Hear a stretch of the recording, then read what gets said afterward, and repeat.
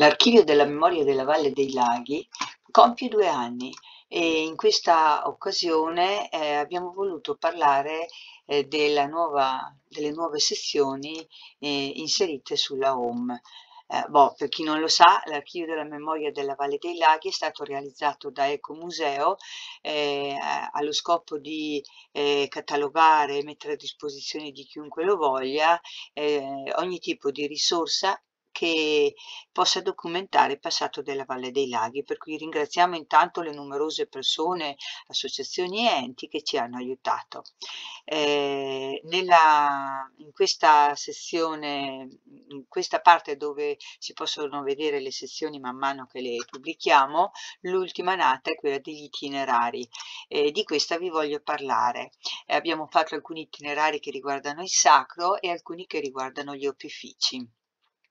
Eh, quando noi entriamo in, una, in un itinerario, appunto, eh, intanto qui c'è un breve video introduttivo che spiega un po' come, eh, come abbiamo svolto il lavoro sugli opifici storici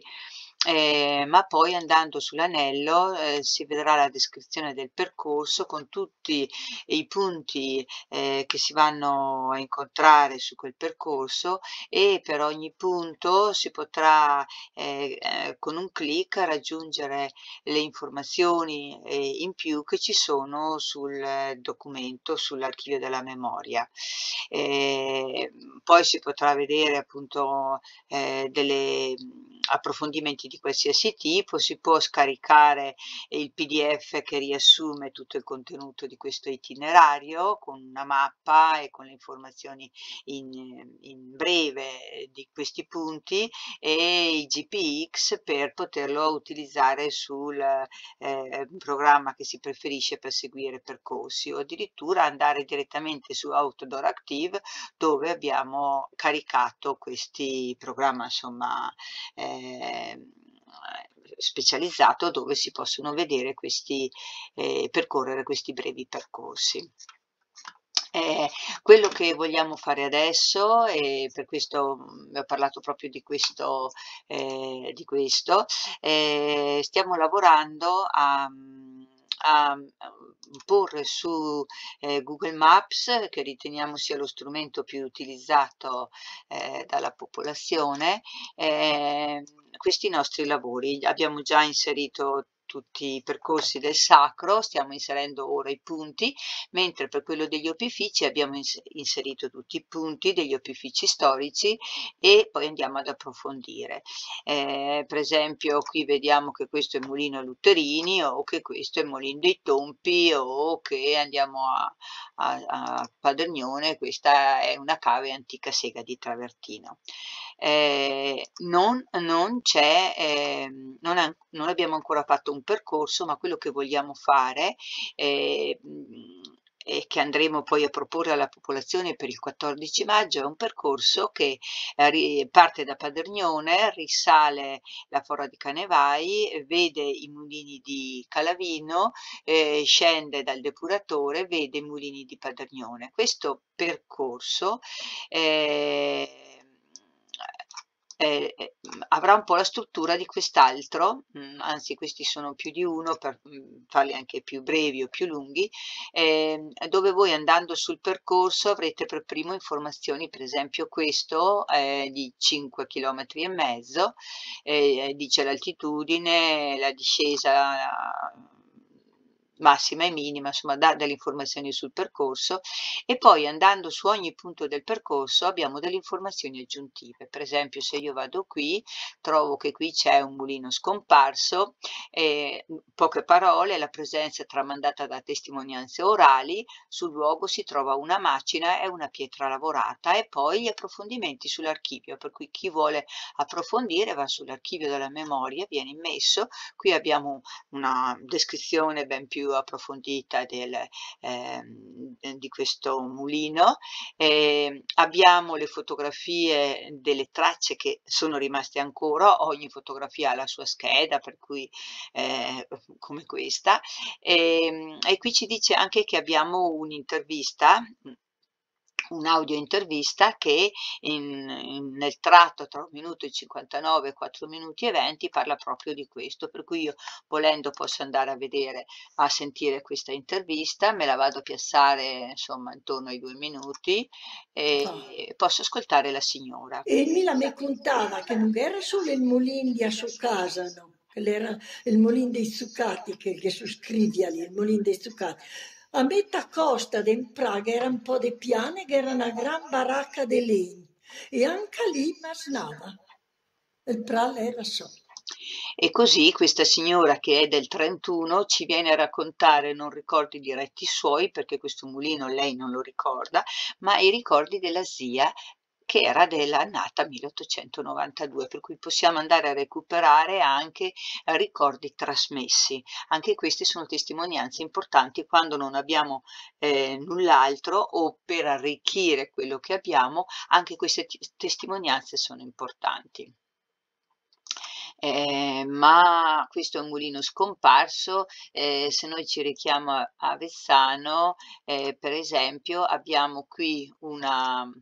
eh, Fucina Morandi che è ora in disuso ma è ancora lì, vi sono conservati i vecchi macchinari per cui anche qui abbiamo eh, la scheda di approfondimento, vediamo com'è adesso l'opificio dall'esterno, eh, vediamo che c'è allegata per esempio una foto storica del eh, fabbro ferraio che lavorava lì, ehm, così come vediamo insomma altre, altre, altre schede collegate eh, interessanti, per esempio, cosa che è piaciuta molto ai, ai ragazzi e ai bambini, eh, vediamo la botte dell'ora come si vede dall'officina, per cui proprio la botte con eh, il canale di carico e con lo scarico dell'aria. Eh, eh, la vediamo da vicino, da sopra e la vediamo come si vede dalla strada, per cui dalla strada non, non attira l'attenzione, però sapendo che cos'è questa cosa sappiamo che cosa c'è dietro. Se poi uno non sa che cos'è una botte dell'ora, è un termine dialettale, per cui lo andiamo a trovare sul, sul nostro glossario. Per cui se andiamo a cercare la voce botte dell'ora, che è collegato ogni volta che c'è qualcosa di dialetto, c'è collegata la voce sul nostro glossario, in italiano è tromba idroeolica, c'è scritto tutto come funziona e ci sono collegate le botte dell'ora che abbiamo per il momento eh, in archivio. Ehm, per cui abbiamo visto l'esempio di uno perduto, di uno che c'è ancora, eh, anche se inutilizzato, eh, ma possiamo andare a vedere per esempio eh, questo che adesso è casa privata, ora è una casa privata, falegnameria Mulino Brogia che falegnameria Bassetti, eh, è casa privata, eh, però anche lì sono conservate eh, sono conservate eh, diversi oggetti, diverse prove insomma di questo lavoro. Poi abbiamo della famiglia anche delle, delle foto storiche, questa è la famiglia del, eh, del, fa, del, falegname eh, che aveva questa attività. Eh, sappiamo che questo, fa, eh, che questo falegname, uno dei figli qui rappresentato, è morto poi in un campo di concentramento e qui abbiamo la lettera che lui eh, ha scritto prima di morire insomma eh, al fratello, per cui anche i documenti che non sono strettamente connessi con l'attività in questo caso di di, falegnameria, ma che sono interessanti dal punto di vista storico per approfondire altre tematiche. Eh, qui vediamo anche che questa falegnameria si è poi trasferita a Padernione, per cui fatto il lavoro di Padernione ci sarà un collegamento eh, fra, due, fra, le due schede. Eh, però abbiamo anche eh, una eh, un'attività ancora in funzione, questa eh, ora è laboratorio del rame Manzoni con commercio per cui è ancora attivo, un tempo però era molto di più segheria, mulino, fucina, laboratorio delle ceramiche e dello scotano, qui abbiamo anche qui tutta la scheda che racconta, questa è una storia lunga, abbiamo le, le mh, mm, cartine mh, mm, stralci delle cartine storiche, eh, ma abbiamo anche per dire un giornale eh, le pagine di un giornale del 1929 dove eh, ci viene presentata l'attività eh, laboratoriale eh, di questa premiata fabbrica delle ceramiche trentine eh, insomma le, le, tipologie di materiale che noi andiamo a inserire in archivio e che vogliamo collegare, che siano eh, facilmente reperibili anche semplicemente da una mappa così eh, su Google Maps, eh, la vogliamo fare anche in questo, in questo percorso di eh, Padernone e Vessano. Ci aiuterà la Roda, ci aiuterà retrospettive, però eh, chiediamo l'aiuto di tutti voi se avete in casa fotografie, se avete avete oggetti, se qualche persona ha ricordi e testimonianze di quanto succedeva anche non dirette ma tramandate come abbiamo visto nella Signora di Ciago e ci contatta, noi saremo molto lieti di poter eh, inserire nell'archivio della memoria queste informazioni in modo che chiunque le possa andare a ritrovare. Ecco, nell'archivio della memoria, proprio in fondo alla pagina, abbiamo eh, la, la pagina che riguarda le informazioni o quella che riguarda eh, il collabora anche tu, dove c'è spiegato tutto quello che uno può fare per collaborare, ci sono gli orari eh, di Ecomuseo, il numero telefonico di Ecomuseo e la mail, così come la mail de, eh, dell'archivio della memoria proprio, per cui non esitate a contattarci, anche adesso se volete parlarne, qui potete vedere in anteprima che cosa vi si fa, eh, vi si chiede insomma per la liberatoria, eh, per cui la liberatoria vostra con anche eh, tutta l'informativa sul trattamento dei dati e insomma confidiamo molto nel vostro, nella vostra collaborazione. Grazie mille.